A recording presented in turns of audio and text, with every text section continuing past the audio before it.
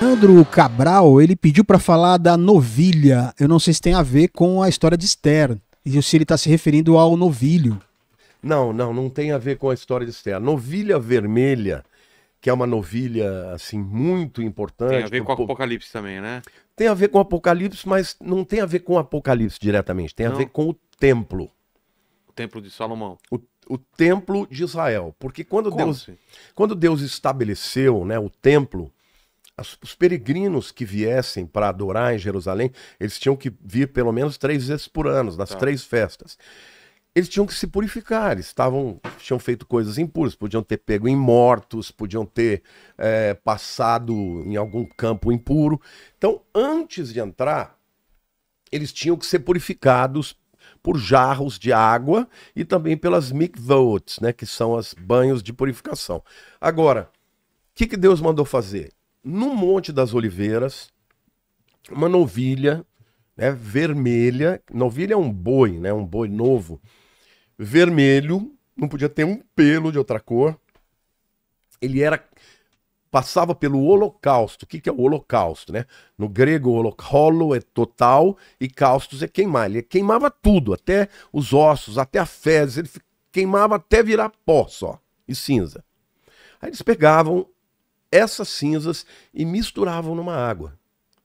Então o povo que passava por ali, eles recebiam essa lavagem dessa água purificadora para adorar no templo. Por que, que eles dizem que isso está ligado ao Apocalipse? Porque a Bíblia diz que o terceiro templo vai ser reconstruído. Então, para reconstruir o terceiro templo, os judeus tinham que fazer todos os utensílios, já estão todos prontos. Você vai a Israel, você viu a menorá? É. Você foi no, no, no Instituto do Templo, Sim. onde tem as vestes, tudo, tá tudo pronto, só falta a arca. Mas, e aí? Arca da como- Aliança. a Arca da Aliança. Como é que a pessoa vai se purificar se não tiver as novilhas vermelhas? Então, o povo de Israel, os rabinos, desenvolveram uma vaca que tivesse toda essa pelagem vermelha. Na verdade, já são cinco vacas. Então, o rabinato diz que o Mashiach está muito perto de chegar. Por causa disso. Porque já tem a. Não, eles acham por conta de outras coisas. Ah, de outros Mas sinais. quando ele chegar, alguns rabinos dizem que ele vai construir o terceiro templo. Outros dizem que, na verdade, o acordo vai ser feito e só depois que tiver construído ele vem. Eles se dividem. Mas pra construir o templo tem que derrubar o que tá em cima, né? Ou não, né? Porque Não? existem aqueles que acreditam que o templo não vai ficar onde está o domo da rocha, vai Ah, ficar à não? direita. É. Ah, Por quê? Porque aquela porta dourada, Sei. se você olhar lá do Monte das Oliveiras, ela não dá onde está o domo da rocha, ela dá, fica à direita de quem olha. Tá lá, tranquilo para ser construído. Então Ah, é? existe essa divergência, Tá. tá? Mas de qualquer forma, eles dizem, o Messias está chegando. Se ele chegar, se não tiver a vaca vermelha, ninguém vai poder fazer a purificação. Então eles já fizeram. Entendi. Já de, pra deixar preparado. Ó, agora, Dá, dá uma olhada, pastor. Você acha a capa do livro pra gente mostrar, né? E vai ser que dia de novembro? Já tem o dia também ou não? Já tem aqui, mas eu Tá. preciso ver também. Então vamos ver essas informações aí Fechou. certinho. E o dia que for lançado a gente fala aqui também. hein? exato. Ó, é, enquanto o pastor vai, vai achando ali, a Nandinha, ela mandou aqui, ó, pastor, é, eu sei que o assunto é outro, mas dá uma dica de onde a gente acha esse tratamento de beleza de Esther. Pelo menos uma dica de onde achar esses seis meses de tratamento. Quero muito. Já pensou? Ó, Ainda não tem, né? Ainda não tem, né? Ou tem, a gente não sabe, né?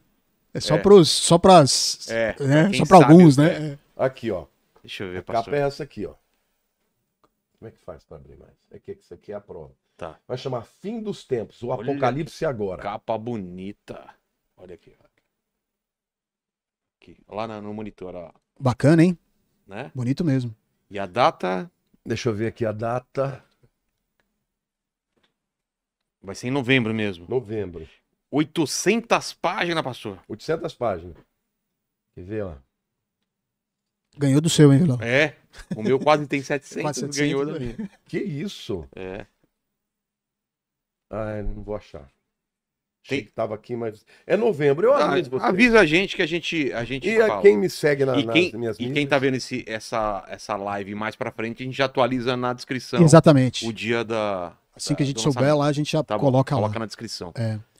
E aí é a pergunta da Nandinha, né? Sobre esse Ah, salão de beleza maravilhoso de Esther. bom, eu diria pra você que se você casar com um cara que tem a grana que o No- é. Açoeiro tinha, hoje em dia tem ótimos produtos de beleza, inclusive em Israel, né? Do Arravá, né? Lá do do Mar Morto. E certamente você vai ficar mais linda ainda. Mas eu acredito que você já é bela. É isso aí, aqui foi. O pessoal tá pedindo pra falar sobre Daniel Mastral, acho que não tem a ver, né? Você não teve algum. Você teve Não, eu, eu só queria dizer o seguinte, que eu fiquei muito triste, fiquei chocado, É. porque é muito triste que alguém perca a vida, né? As teorias são muitas, né? Eu realmente não faço a mínima ideia, de qualquer forma, eu espero E a muito. vida dele trágica, né? Pelo filho, pela- pela Trágica, mulher. trágica. é. trágica, isso nos mostra que estamos vivendo dias ruins. Dias em que existem pessoas que odeiam. Se ele foi morto, não sei se foi porque falou demais, né? De alguma maneira ameaçou os, os satanistas, né? Outros afirmam que ele estava numa depressão profunda. Mas eu, eu acredito que ele não tenha se matado, não, porque uma pessoa que conhece a Bíblia acho que teria medo de fazer uma coisa dessa. É, ele chegou a, a fazer uma tentativa um ano e meio atrás, eu acho. Depois disso ele veio Ele aqui. tentou? Tentou, tentou. Teve, É. te- é, teve isso, mas ele veio um mês antes aqui e tava aparentemente bem. A gente nunca sabe a vida da pessoa, né? Mas ela, ele tava bem, tava com bastante planos e tal. Mas ele passou um momento difícil, acho que um, um ano, um pouco. Foi o final do ano passado, ou meio do ano passado, mais ou menos, ele passou e, e teve essa tentativa realmente. Mas a gente nunca vai saber, né? Não sei se a polícia já, já, já, já, já tem um- uma decisão final, se foi realmente é, suicídio ou não, né? Não sei. O que eu queria, na verdade, dizer para todo mundo que está aqui hoje é que nós estamos vivendo os últimos tempos. Vilela, é incrível como o engano se multiplica. Como as pessoas são enganadas por pessoas que falam, que encantam, mas que não têm vida. Então, a minha palavra para você só existe um antídoto para o engano, que é a palavra de Deus. Hoje, muitas pessoas têm se levantado contra a Bíblia. Muito, para diminuir, para dizer que ela não é a palavra de Deus, para dizer que ela é ultrapassada, que ela precisa ser né, revista. A Bíblia diz: passarão os céus e a terra, mas as minhas palavras não passarão. Então entrega a tua vida ao Senhor, entrega o teu coração, entrega a tua vida. Olha, lutas todo mundo passa, mas Deus é fiel. E entrega a tua vida para o Senhor Jesus, para que você possa ter certeza de um dia estar junto dele eternamente. Que Deus abençoe todo mundo que está aqui. Quero agradecer a todos que ficaram aqui. Quero pedir que vocês compartilhem esse vídeo. Quero fazer um agradecimento pessoal. Vilela, eu, você já está assim há algum tempo, né? De não andar na rua e ser reconhecido em todo lugar. Isso já aconteceu comigo também. Não tem nenhum lugar onde eu vá que isso não acontece. Poxa. E posso te falar? Oito entre dez pessoas falam, eu te conheci no Vilela. Que bom. Então eu quero te dizer que Deus tem um propósito para a tua vida, meu irmão. Porque você tem sido um instrumento da divulgação do evangelho de uma forma extraordinária. Você traz gente muito boa aqui. Você traz gente de outras É. fés, mas você traz é- gente muito boa aqui. é, o- até o pessoal, pessoas que vezes- pensam diferente, É, mas são pessoas parte, de né? Deus. Né, O Rodrigo, por exemplo, que é uma pessoa que eu tenho grandes discor- discordâncias escatológicas, mas outro dia eu vi o testemunho dele e fiquei É, o emocionado. próprio Frei Gilson, que veio aqui também. Sim, então, Minha mãe é católica, então eu tenho o maior respeito com os católicos também. e Deus tem te usado, meu irmão.